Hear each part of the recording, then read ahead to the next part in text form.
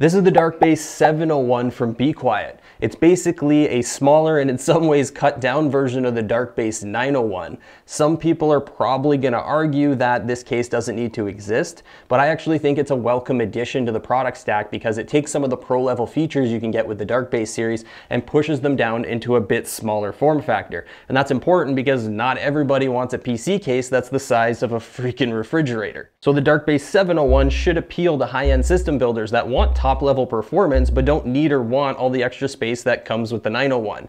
And it'll save you some money because it's quite a bit cheaper. Here's a quick side-by-side -side with the Dark Base 901 to give you an idea of the size difference. It's pretty significant when you look at them both beside each other. I like to look at it like this. The 701's a case that can fit on your desk beside your monitor, whereas the 901 might have to go on the floor depending on your setup.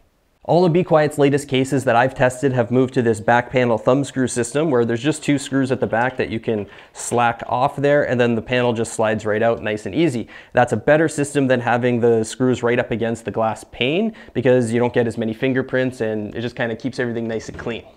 The front panel is using a mesh design. You can see that here. It's ventilated everywhere from top to bottom and kind of along the sides a little bit too. That's awesome. It's gonna give the front intake fans access to a ton of fresh, cool air. And then along both edges, you can't see the one on this side in this camera angle, but from here, you can see this little white bar here. That's an addressable ARGB strip. There's one on each side. And we'll take a closer look at that when we get some hardware in here and we can get everything powered on. If I pull this front panel off, there's a little set of contact pins and a little PCB on the inside of the front of the case frame here. And what that does is it passes data and power through to those ARGB strips, which means there's no wires to connect. And that's awesome because, well, let's be honest, it absolutely sucks when you have to connect wires to removable parts of a PC case. This dust filter comes off without any tools or screws. It's just magnetic, pops off like that. And that gives you access to the fans in the front panel area. And this is a pre-installed 140 millimeter Silent Wings 4 fan, but you can install up to three of these here or three 120 millimeter fans or radiators all the way up to 360 millimeters. One of the features I really like about the Dark Base series is this front mounting area for the fans and radiators is actually a removable tray. So if you just undo these two thumb screws, watch this, this whole thing pops right out. It's still being held on right now because there's a pre-installed fan there with a wire, but you get the idea. This thing comes out, you mount your fans and radiators outside the case where there's more room, where it's more easy to work. And then you come over here, you stick those little pegs in the bottom, you do up your thumb screws here really quick, just like this, installed. It's that easy. So that's a really great feature that saves a lot of time. The I.O. panel has your main power switch, two USB Type-A ports, one USB Type-C, headphone and mic jacks, and then two sets of manual controls for fan speed and ARGB lighting. It's pretty simple to use. Each press cycles the fan speeds from 600 to 1200 to 1900 RPM, and the ARGB button will cycle through tons of colors, modes, and effects. It's a nice alternative to just being stuck with a software app for all your lighting, but at the end of the day, you can still do that if you'd prefer. And, uh, you know, to me, it's always nice to have options, and that's what this gives you. The panel on this side comes off just like the glass one, two thumb screws at the back, and then it slides right out. And what you've got here is some sound dampening foam material on the inside to help reduce overall system noise. And that's a pretty big noticeable difference between the Dark Base 701 and its bigger brother, the 901. This is the only spot on this case you're gonna find this, whereas the 901 gives you a lot more options to help control sound. Back here we have two spots to mount two and a half inch SSDs with an additional one right here. And you can also fit two three and a half inch hard drives here. And if you want to install this optional bracket that just fits in down here like this, there's a couple of screws that'll attach it in there. That'll allow you to fit one more three and a half inch drive. But there is a catch. In order to use this bracket, you've got to buy one of Be Quiet's drive cages that works with it. Your drive mounts in here, it slides in and attaches with a thumb screw. That's kind of weird if you ask me, because if they're giving you the bracket, they should give you a cage to be able to use it. Otherwise, this is completely useless. Really quick before we move on, I want to show you the way drives mount in here because I think it's a little bit unusual. There's some holes on this panel here and what you've got to do is take these little rubber things, I don't know what they are, little rubber rings, and stick them into the appropriate holes for either HDDs or SSDs. And it's a pain to work with, I'm not gonna lie. They not easy to get in there to work with your fingers. But anyways, once you've got them popped in, what you do is you take your drive and you've got to install all these little pins in there. These are included in the package, so you stick these pins in. They're kind of threaded and they've got a screwdriver head on top, like a Phillips screwdriver, so you can tighten them down that way if you can't do it by hand. And then the way your drive mounts is it just pops into these little rubber things and sits there. There's no hardware to screw it down and nothing to really lock it down into place. To be fair though, it does feel like it's holding it pretty well. I don't think it's ever gonna fall out on you or anything like that. But here's what I find really weird about the way this setup works with three and a half inch hard drives in particular.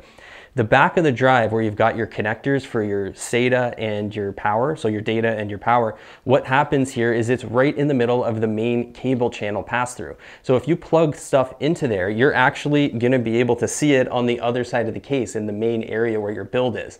I think that's kind of funny. It doesn't give you a lot of options to work with and it kind of forces you to have some visible cables in your build, which is really not cool. But I will say it's not an issue with two and a half inch drives because they mount vertically the other way so the cables won't be visible in that spot. This hub links up all the fans for you, so this lets you install eight PWM fans in total. There's three pre-installed, you can see plugged in here, and down here there's two three-pin ARGB ports as well. The whole thing gets powered with a single SATA power connector that you're gonna have to connect to your power supply. And then there's a tach cable that plugs into your motherboard in order for it to read out the fan speeds and control everything through your motherboard if you want to bypass those front panel controls altogether. And if that's something you're interested in, all you have to do is press that uh, fan control button, press and hold it for three seconds, and that'll switch over to motherboard control. There's lots of channels, pass-throughs, and tie-down points back here for your cables. It looks like they really thought out cable management and did a good job maximizing the options for you back here with the amount of space available. There's tons of room along the bottom for your power supply and cables. The maximum supported power supply length is 250 millimeters, which is crazy big. It's basically unrestricted. You can put as big of a PSU as you want down there. Up here at the front, there's some fan mounts, so you can fit either a 120 or 140 millimeter fan down there, and that entire bottom section is actually ventilated, and there is a dust filter along the bottom, although to get to it, you have to remove the front panel, and then once you've done that, you can just grab it, and it just pulls out like that. Around back, we have the IO shield cutout area. This is a pre-installed 140 millimeter Silent Wings 4 fan, and it'll also take a 120 and small 120 millimeter radiators as well. And one thing to note back here is these fan mounts are slotted and that'll give you a little bit of adjustability. You can slide the fan up and down when you mount it and that can help improve compatibility on the inside. So if you've got a thick radiator up here or something, maybe you gotta slide that fan down a little bit, gives you that extra little bit of flexibility. We have seven horizontal PCI Express expansion slots and then three vertical. Those three vertical will let you mount pretty thick GPUs there, but keep in mind that third slot or first slot, depending on how you look at it, is pretty close to the edge of the case where the side panel is going to be mounted. And that side panel is completely solid tempered glass without any ventilation. So there will be some restricted airflow there if you've got a really thick GPU in that vertical mount that takes up all three slots. That is fairly common in a lot of cases though, unless you're dealing with like really big full towers or open air frame designs. This is a removable PSU mount bracket, so that comes off, attaches to your PSU, slides back in, and then just attaches onto the back of the case with some thumb screws, makes it really quick and easy to mount your power supply, and that's standard on Be Quiet's cases these days. The top panel is an all mesh airflow design, A couple of thumb screws at the back that you loosen up here, then the whole thing just slides off just like that. There's lots of open space here to access the fan mounts, and this is a removable tray, just like up at the front. This one has two screws, one here and here. The whole thing is gonna slide out so you can mount everything much easier and then throw it back in. This is the third pre-installed 140 millimeter Silent Wings 4 fan in this case, and it will take three of these, up to three of these at the top, or three 120s if you prefer, and radiator support is 120 to 360 millimeters up top here. The interior feels really spacious. They don't have any weird drive mounts or cages sticking out all over the place. It's all nice and clean, lots of space to move around in here. Motherboards are supported from mini ITX all the way up to eATX, so you're not restricted in any way in terms of the type of systems you can build in here. Maximum CPU cooler height's 185 millimeters and GPU clearance is 430 millimeters. Again, really good numbers here, not restrictive in any way.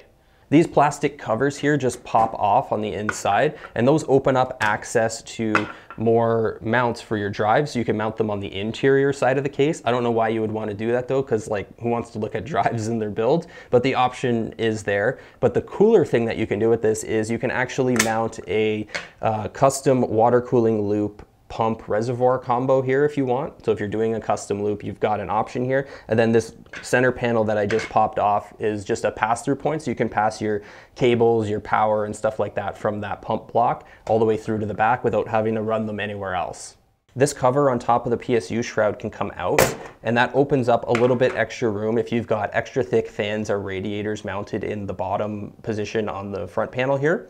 But also they ship this airflow ventilated panel here with the case. And if you pop this one in, what that's gonna do is give you an additional airflow passage inside the case. So if you've got an extra fan down there pumping air in, some of that air can come up into the main area of the case.